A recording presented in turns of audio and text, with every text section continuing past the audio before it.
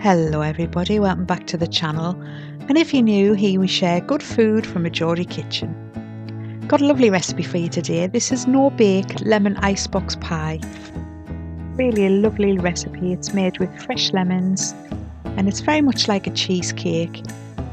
It gets its name because um, in the 1930s and the 1920s, when it was made originally, it would be stored in boxes filled with ice because there was no refrigeration facilities.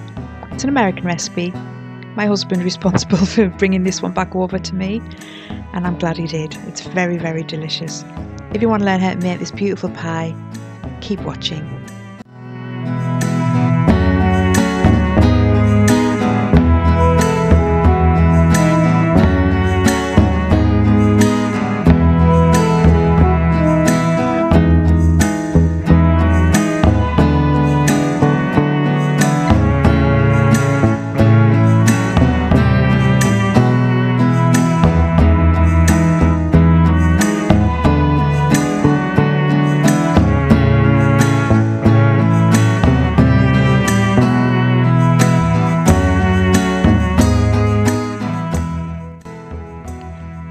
Crush your biscuits whichever way you would prefer. I do mine in a food processor, but you can put them in a bag and bash them with a rolling pin. Get all your stress out. And then you want to melt your butter in a saucepan or in the microwave. And then when it's melted, you just tip your, your crumbs in. Now I like a looser I don't know how to describe it, but I don't like a very firm, crunchy base on my cheesecakes. So I found that this this amount, this ratio, makes a nice lighter crumb, and you're not like trying to hack through it when it comes out of the fridge, which is awful trying to hack through it. I think you ruin your, your pie or your cheesecake when you're trying to do that. So this makes it really, really easy to cut through. So stir it all through and then you want to take it, if this is an 8 8 inch cake tin it's a loose bottom tin and I've just given it a little wipe out with some oil. And you just want to put your crumb in and you want to go up the sides as well. So just bring it to the sides and push it up the sides.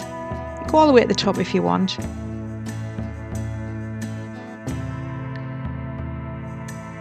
as you see how I'm pressing it in, I'm not really pressing it hard because we want that lovely soft texture when it's set.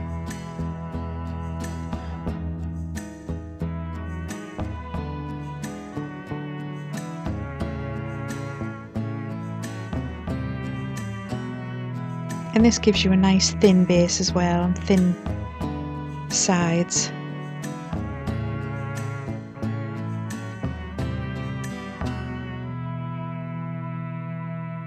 Then this is going to go in the fridge for a couple of hours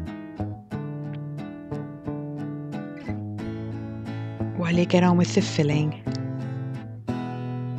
Now I've just taken the two cans of condensed milk and the cream cheese and I'm going to whip them together. And you will get quite a loose a loose consistency here and you'll think oh no this is never going to set but it does, I promise. as soon as that lemon juice goes in, something happens between the lemons and the cream cheese and it's just, it's magic. And then your, your zest goes in.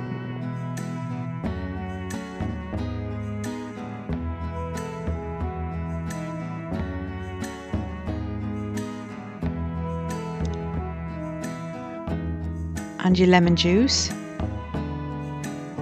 And this is the point where you'll you'll panic because I did the first time I made this. But as you can see, it's some something magical happens and it just starts to thicken up beautifully.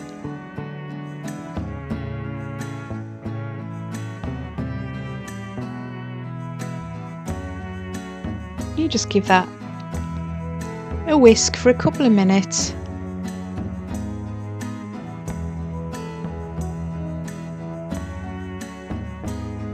and also the smell when you're making this is just heaven. It's beautiful.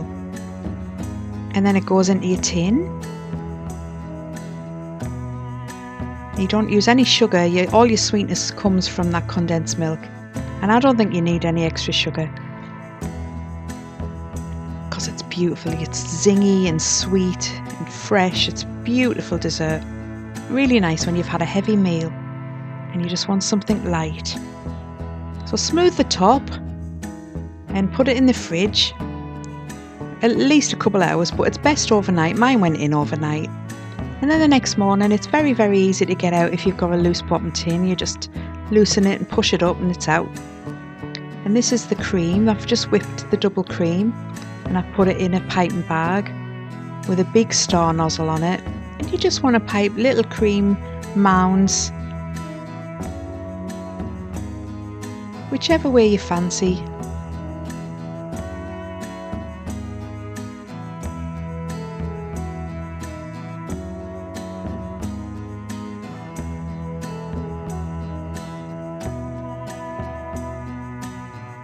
And one in the middle for luck.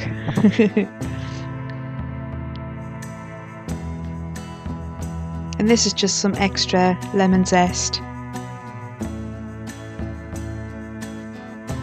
And I just sprinkled some over the top.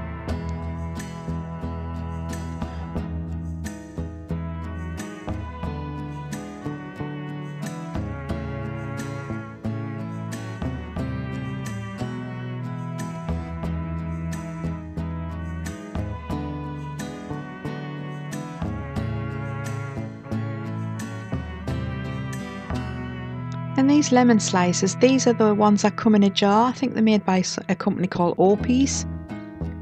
And I just, this is two slices, two or three slices, which I just chopped up. You can use fresh lemon slices, of course, if you have them, but I didn't have any more lemons, I ran out. You just want to decorate it whichever way you fancy. I mean, you don't have to do the cream and the lemon at the end. It's delicious as it is, but this was for a celebration, so I made it all pretty. so that's basically it. It's really, really delicious. And it'll store in your fridge for three to four days after you've made it. If it lasts that long. Ours never does. so once again, thank you for joining me as for Recipe of the Week. I hope you've enjoyed it. Thanks for watching. Bye bye. Take care. Bye bye. I went to Races, it was on the 9th of June, 1862 in summer's afternoon. We took the bus for and she was heavy laden, and away we went along Collingwood Street, that's on the boat. And oh lad, you should have seen us cannon, the upon the boat.